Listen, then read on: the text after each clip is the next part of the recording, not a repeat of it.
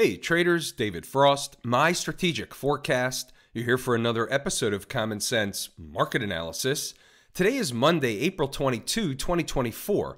We're looking at a daily chart of the SPY or Spider, which is the proxy for the S&P 500. What do we have on the docket today? Lots of stuff to talk about on the docket today. Let's start the conversation with the title cover of last Thursday's video, which was Are We Looking for a Low? They traded him down into the end of the week and they bounced him up today. But what was the significance of where they went to by the end of the week? Because we talked about it at least a dozen times. Here's the weekly chart right into the 20 week moving average. It held. They're trying to bounce it off the 20 week moving average from a big picture perspective, they could bounce it for a few weeks, try and get back to the trend line. Don't know if they get there or not, but I have some ideas of where, quote unquote, we're going to hit them next. Why do I say that? Aha. Because here's the likely schematic as far as I'm concerned.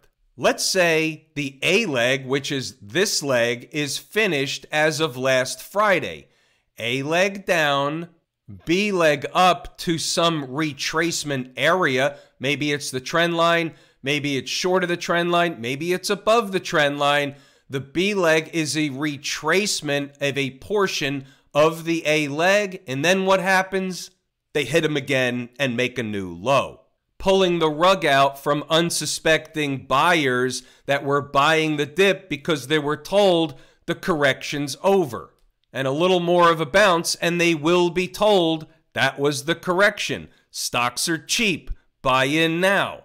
There's cash on the sidelines. The list goes on and on and on. It's the same routine over and over and over again. Write this down, put it on a sticky note, save it for later.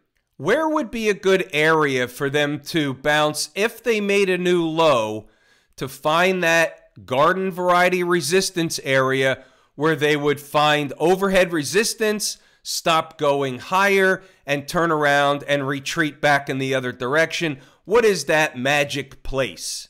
For now, we're going to call it roughly 509 and change up to around 511. We'll split the difference and call it 510, give or take.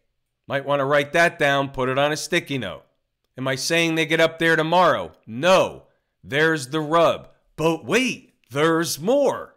When they do the thing where they appear to put in a low, like Friday, a bounce today, everybody wants to think there's a low. Whether there is or there is not is irrelevant. One of the things Mrs. Market loves to do is come back sooner than later within the next day or so, in this example, to retest the low. Sometimes they make a higher low, sometimes they spike the low and rip it back up in the other direction but likely a test of the low or in the neighborhood of the low is coming. If they spike the low, where are they going? Well, the next obvious place is right around this 100 period moving average. And inside the number members and live room members will know that there's an important number down there not having anything to do with the 100 period moving average. So therefore, we'll take heed in that. If they're making a new low, we know where they're going. A higher low could be coming back to fill this gap that was left open Friday. Now it's unfinished business since they made an attempt at it this morning, came up short, turned around, and went back in the other direction. It's unfinished business. So if they're coming down here, they're coming to finish some business, and that's where they could, could make a higher low. Write this stuff down. Anybody make money today in the live trading room inside the numbers? I'd like you to post a comment under the video if you did. Let's hear the details. Help a brother out. And I'm not the only brother. The other brothers are ancestors, are the people that are looking for a solution. They need social evidence. They need peer proof. You're the peers.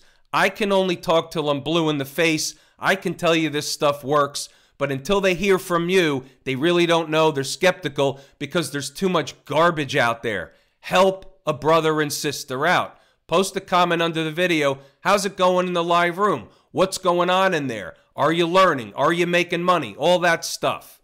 Thank you. I appreciate your help.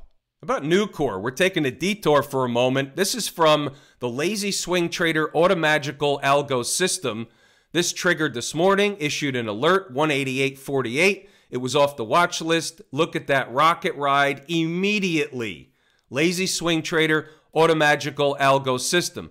And just to show you that this isn't necessarily an anomaly like a one hit wonder, we have another case in point, only this one came up penny short, so the alert didn't go out, but the alert was set to go out. This was on the watch list, 138.91 in Take Two Interactive. And what you can see happened, and let's look at a shorter term chart.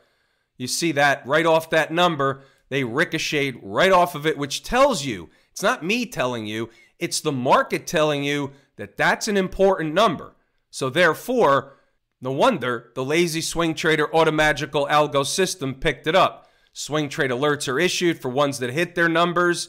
We have stop, we have profit targets, we have a watch list so you know what's coming in advance. You don't have to wait for the alert. You can set yourself up with the entries ahead of time. It's all in there. And by the way, what was the Lazy Swing Trader Automagical system doing last week?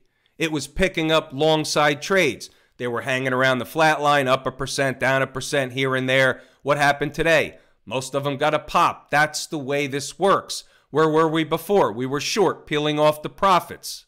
That's the way it works. Back and forth. We play them both ways. Lazy Swing Trader Automagical Algo System. Let's get back to the who made money today in the live room and inside the numbers. Here's the early commentary Zero Dark 30. We got a DCB going, dead cat bounce. Could this be the one that sticks, the rip your face off rally? Sure, it could. Well, you got a partial rip your face off rally today. Little intraday squeeze opportunity. The pivot is 496.85. How you doing? Did they bounce off the pivot first thing this morning? Here's your five minute chart. Right of the vertical is today's activity. Did we have traders that took a long trade at the pivot? Yes, we did. Did they get a base hit or more? Yes, they did. Was it a guaranteed win? No, it wasn't, but they understood the risk. We talked through it in the live room. Those that wanted the trade took the trade. We had a bear case below the pivot for Friday's close, 495.10. You saw already before they didn't get there, they came up short ripped it back up in the other direction. Did we know where they were going to rip it back up from? Well, let's go find out. We're scrolling up. What I urge you to do is pause the video, read the notes, go back to the chart, and double check the work. Early notes long is above the pivot, short is below the pivot, or at least not long, meaning they can fall. Again, read the notes, go back to the chart, and double check the work. I'm going to highlight or point out a couple of important things. You can do the rest of the work. If you're an intraday trader and you're not using this, I think you're at a disadvantage. Chew on that for a moment. They provided the base hit off the pivot. We got that here. Below 496.50, the door opens for 495.75. All right? Well, let's just chew on that for a minute, too. Sometimes you just can't make this stuff up. 495.75, they come into it, they find support just under it, and they rip it back up in the other direction, and there's your morning low.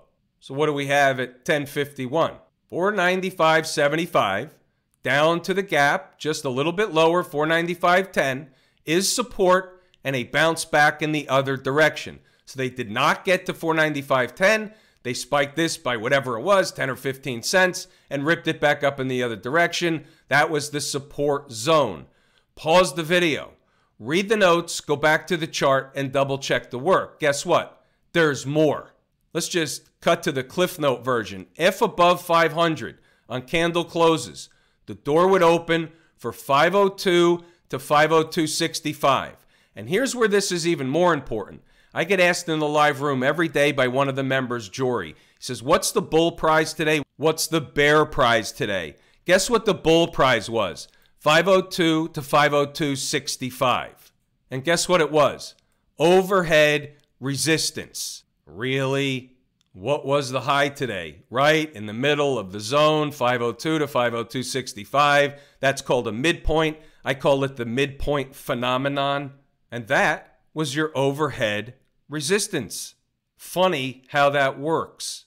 We had some stocks on the move this morning Tesla, AU, and Newmont Mining. we'll take a look at Tesla and AU. Before we get to that, what was the number today, the daily number for Microsoft given out in the live room? 395.70. Low of day, 395.75. Funny how that works. And there were more. This is just one of several like this during the trading day after the open that comes up that we look at, we trade in the live room. About Tesla. Guess what? 141.91 was the first number on the board. Stock was trading below in the pre market. It got below, it opened below. So this number is fictitious. It's off the board, doesn't even exist. What'd they do today? Came into the second number, 139.45, spiked it, ripped it, absolutely ripped it back up in the other direction, over above 144, $5 rip. Did we have participation in the live room? You bet your bottom dollar we did. Inside the numbers members, live room members, all members, not everybody, but many, many members participated in Tesla. AU gave you the deal in the morning from an official standpoint. They came up short of the number early in the morning, the second number. Came into the first, went down toward the second, came up short, bounced back, gave you the base hit, came back to the second, bounced around all day, finished right in between them. The midpoint phenomenon. No harm, no foul. Some traders made money. Other traders vacillated around all day, not really doing much. No harm, no foul. Or they made money. They officially gave you the base hit here in the morning. What's going on over in Camp IWM? Well, 192 we talked about, 192.50 that held so far. Again, this is still just a dead cat bounce. There's going to be, under likely scenario, a retest of the lows, whether they retest the low in the IWM, come up short, same thing with the spider. It's in the vicinity of let's pull the rug out a little bit. Let's screw over the Johnny come latelys who were buying today, chasing the market in the afternoon they really have to get screwed, don't you think? Isn't that what the trick, trap, fool, and frustrate crew is all about? Like when traders that bought calls today, they wake up tomorrow morning and the calls are negative or the S&P's negative. They know the calls are going to go bad and they say, "What the deuce?" And it happens over and over and over again. Where can a bounce take you in the IWM regardless of whether they retest the lows or not? 198, 199 is a logical place for now. They get there, we'll start talking about the next place. It will be overhead resistance up there. Transports a little canary-ish on Friday. They had a bounce on Friday. And what they do today? They tested the most recent breakdown candle high in the sequence. They tested it, they spiked it, but they couldn't close above it. First time, best time. Close above that candle, that's bullish into the 200 period moving average, run a test from underneath. That's garden variety type behavior. The Q people, why is 413 on the board? I'm going to show you. We did this one in the live room today. Just to refresh our memory of where it comes from, the market runs up to a place. This is a weekly chart. So the next week they have a down week. But the fact that the market ran up to that place and got rejected tells you that number up there, whatever that thing is up there, that number, that place, whatever you want to call it, is important. Mrs. Market told us it's not me telling you, it's not cousin Jimmy telling you, it's the market telling you. Once they got over that, that becomes a breakout area. What happens with breakout areas? And we do this every day. Markets like to come back and run a test of the most recent breakout area. Intraday, daily, weekly, monthly, quarterly, annual, whatever you want to say. All charts act and react the same way. So, what they do into Friday's close? They came back to run a test of that place and essentially have bounced off that place. Now, that doesn't have to be the end of the correction. This could be leg A, like we talked about in the SPY. Leg A down to the most recent breakout area, bounce them, suck them in, make them think the correction's over, and then hit them again. Hence, your ABC corrective pattern. About the financials, another canary ish type of situation. Why is that? If the financials aren't falling apart, the market's not going to fall apart. Look what they did last week. They bounced them on Friday. They had relative strength. Why would they have relative strength when the market's getting thrown out? Well, guess what? Here we are up today. Another nice day for the financials, up over 1%, right into the last line of defense in terms of moving averages. Get back above the 20 period moving average, and guess what? You're back to the trend is your friend above all the moving averages, and there you have it. I'd write this stuff down, put it on a sticky note. What do you think? Smash Mouth, a little bit of a DCB. We didn't need those other lines. Eclipse or get above the high of this last breakdown candle high in the sequence. The high is 208, and you'll get a bounce back toward these moving averages, the 50 period moving average. But that's going to be a tall order to get back above 208. Can they? Of course they can, but there's overhead resistance up there. How about gold getting smoked today? Some of the air coming out of the balloon. Obviously, it was quote unquote overbought. They're running away. Let's look at a weekly chart. They're running away. This doesn't last forever. They were at new highs. The trend is your friend. You never know how high they were going to go. That's what I kept saying anytime anyone would ask me about gold, but they will pull back.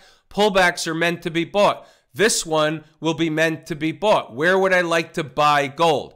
Notwithstanding the fact that I have no idea right now whether they can get there or not, I would be a buyer anywhere right around 2150 at this point. Let them deflate some more. Let them have a few more days of downside activity. Let the fear factor get sucked out of the market, and therefore gold comes down to reality, gets in a corrective pattern. But as long as they stay above this trend line, where does this come from? This was the breakout area, right? They don't have to come all the way down here right now, but this was the ultimate breakout area. So between 2250 and this trend line 2000 2050 in that neighborhood you're going to get support from a big picture perspective in gold that comment is not to be a trade the trade will happen numbers real time trade alert discussion in the live room all that stuff however from a big picture perspective you're looking at 2250 down to the trend line about 2050 that's your support area you're likely to get a bounce back in that area. If they stay above this trend line and they start back up, that's going to be a very positive for the next leg higher in gold. Come back below this trend line, party's over for a while, we'll reassess it at the time. Have I told you how much I appreciate each and every one of you? Without you, these videos are not possible. That is true and accurate information. We're pulling the ripcord here today. I'm David Frost. My strategic forecast Thanks again for tuning in to another episode of Common Sense uh, Market Analysis.